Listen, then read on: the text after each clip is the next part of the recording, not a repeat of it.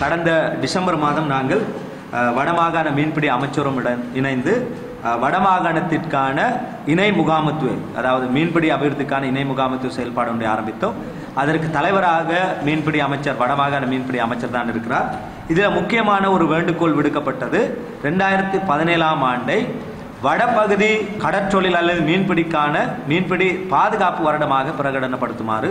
ஆனால் இதுவரைக்கும் மாகாண சபையில் இது கதைக்கப்பட்டதா என்பது தெரியவில்லை. ஆகவே மாகாண சபையிலே கதைக்கப்பட்டு ரெண்டாயிரத்தி பதினேழாம் ஆண்டு இணை முகாமைத்துவ செயற்பாட்டினூடாக கடல் பாதுகாப்பு அல்லது மீன்பிடி பாதுகாப்பு வருடமாக பிரகடனப்படுத்த வேண்டும்.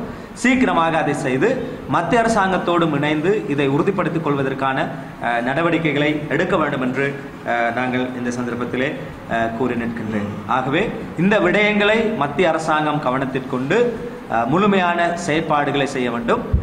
இறுதியாக வடபகுதி ஊடகங்கள் நீங்கள் மக்களோடு இருந்து செயல்படுகின்ற அதே நேரம் இது எந்த வகையில் இது தென்னிலங்கை போகும் என்று தெரியவில்லை.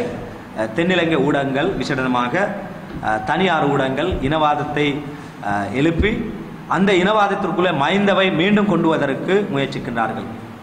எந்தவித காரணத்தை கொண்டும் மைந்த மீண்டும் ஆட்சிக்கு வந்தால் இன்னும் ஒரு பெரிய அழிவை நாங்கள் சந்திக்க வேண்டி ஏற்படும். அதற்காக இந்த அரசாங்கத்தை பாதுகாக்கவும் எவரும் முயற்சிக்க கூடாது.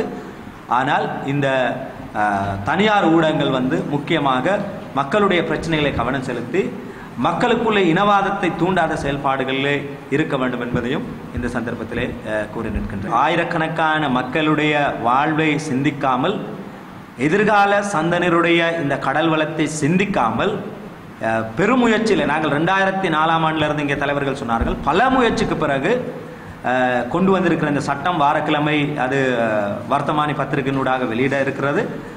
அவ்வாறு கஷ்டப்பட்டு கொண்டு வந்த இந்த சட்டத்தை எதிர்ப்பதென்பது அரசியல் லாபம் தேடுகின்ற ஒரு விடயமாகத்தான் நான் பார்க்கின்றேன். அதை நாங்கள் வன்மையாக கண்டிக்கின்றோம்.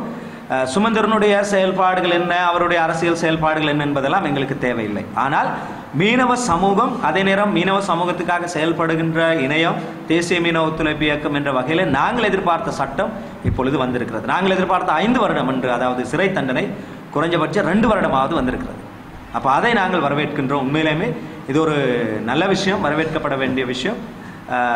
இது முழுமையாக நடைமுறைக்கு வர வேண்டும். இல்லை என்றால் எதிர்காலத்தினுடைய வளங்கள் இப்போதைக்கு அளிக்கப்பட்டு விட்டது ஒன்று இந்திய டோலர்களால் முழுமையாக அளிக்கப்பட்டு விட்டது.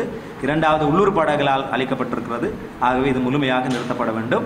எங்களுடைய ஜோசப்பையா சொன்னது போல இதற்கு பல காலங்கள் அவகாசங்கள் கொடுக்கப்பட்டு இயக்கம் இருந்த காலப்பகுதியிலே பல விஷயங்கள் இதற்காக முன்னெடுக்கப்பட்டது. என்னென்னா இயக்கம் உங்களுக்கு இயக்கம் வந்து சூழலை பாதுகாப்பதிலே அவர்கள் பெரும் அக்கறை செலுத்தியிருந்தார்கள். அது வரவேற்கப்பட வேண்டிய விஷயம்.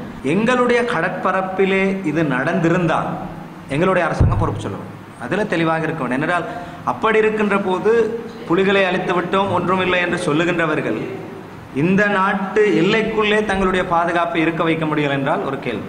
ஏனென்றால் இங்கே சாதாரண மக்கள் போராடுகின்ற போது பாதுகாப்பு என்று சொல்லி இப்பவும் மைந்த அரசாங்கத்தினுடைய இருந்த அதே நிலை உளவுத்துறையினர் சுற்றித் திரிகிறார்கள் போய் படம் எடுக்கிறார்கள் பல்வேறு நாடகங்களை அரங்கேற்றுகிறார்கள் அப்படிப்பட்டவர்கள் கடல் எல்லைக்குள்ளே தங்களுடைய பாதுகாப்பை உறுதிப்படுத்தவில்லை என்றால் அரசாங்கம் தான் பொறுப்பு சொல்ல வேண்டும். ஆனால் அது கடற்படை செய்ததா? வேறு யாரும் செய்ததா என்று நாங்கள் உறுதியாக சொல்ல முடியாது. அது பாதுகாப்பு படையோடும் உளவுத்துறையினோடும் சம்மந்தப்பட்ட ஒரு விடை விடயம்.